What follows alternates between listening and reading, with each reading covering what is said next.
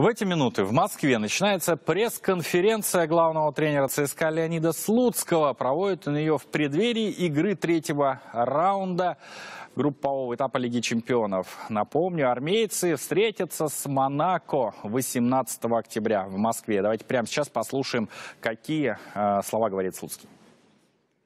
Мы вас увидим э, в завтрашней встрече.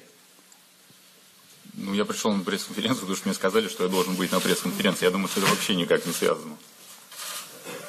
Иван Euh, donc la question c'était comme si notre défenseur il était venu à la conférence de presse, ça, ça veut dire que lui il va être demain dans le 11.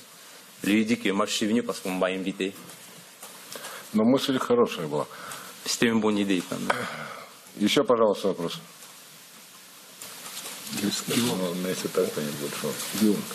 Павел Гуреевич, агентство ТАСС. Алексей, сегодня стало известно, что у Монако не приедет главная звезда Радамель Фалькао. Значит ли это, что защите команды будет немножечко проще? Спасибо. Donc euh, c'est Radamel Falcao qui ne vient pas, donc c'est le star de cette équipe. Est-ce que ça va être un peu plus facile de jouer demain Ну, я думаю, что такая команда, как Монако, обладает хорошим подбором игроков. Я думаю, что для них это однозначно не катастрофическая потеря, поэтому в любом случае завтра обороне нашего клуба будет тяжело. В принципе, даже если он не будет играть. Même si Falcao il ne sera pas là demain, Monaco c'est une équipe costaud, donc ça va être assez difficile de jouer demain en défense. Еще вопросы?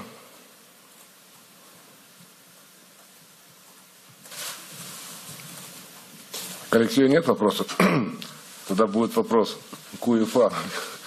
Зачем мы проводим пресс-конференцию?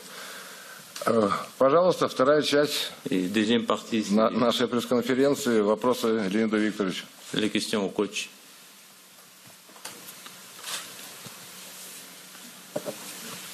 Тоже нет. Спорт день за днем. А, Добрый день, Кирилл Снастин, спорт день за днем.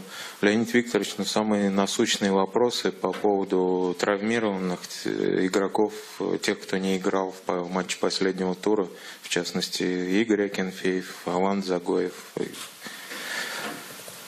Donc la question la plus importante, ce sont les joueurs blessés. Donc euh, ça concerne des joueurs qui n'ont pas joué les derniers matchs comme Zagoyev, euh, Akinfeev. Акинфеев готовится к игре, Загоев нет. Euh, Akinfeev se prépare pour le match, Zagoyev non, il est toujours blessé.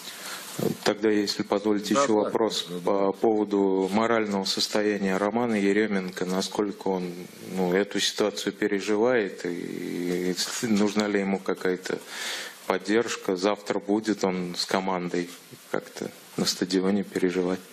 Et pour Yero- Yere- Yeremenko, donc pour moi, il, il supporte cette situation qui est vraiment compliquée pour lui. Est-ce qu'il va demain joindre l'équipe pour voir comme spectateur Je sais pas. Я думаю, этот вопрос лучше адресовать Роману о его моральном состоянии. C'est mieux de poser cette question à Roman lui-même. И еще, если позволите, тогда такой вопрос, может быть, несколько необычный. Завтрашний матч будет обслуживать шведская бригада арбитров. А, Наверняка они хорошо знают манеру игры Понтуса Вернблума. Вы на это будете обращать внимание Понтуса как-то, может быть, чтобы он более сдержанно играл или наоборот, может быть? Euh, ce sont les arbitres suédois qui vont travailler demain à- à le match. Est-ce que vous allez attacher l'attention de Pontur Verblum à, à- à ce fait Но вы сами ответили на свой же вопрос. То есть шведское гражданство, может быть, даст ему плюсы и какие-то фолы будут пропускаться, а может быть, даст и минусы, учитывая, что арбитры его хорошо знают. Но если говорить серьезно, я думаю, что это абсолютно никакого значения не имеет. Peut-être le passeport. Ну что ж, вот такого мнения Леонид Слуцкий о завтрашней предстоящей игре. Конечно же, наличие Понтуса Верблума ни в коей мере не должно позволить ему нарушать правила чаще, чем другим игрокам. Шведская бригада арбитров приезжает, но самое главное, что приезжает, э, в общем-то, Монако. И обыгрывать его нужно обязательно. Дело в том, что после двух первых встреч у армейцев лишь одно набранное очко, и эта игра может стать ключевой. Теперь к другим темам.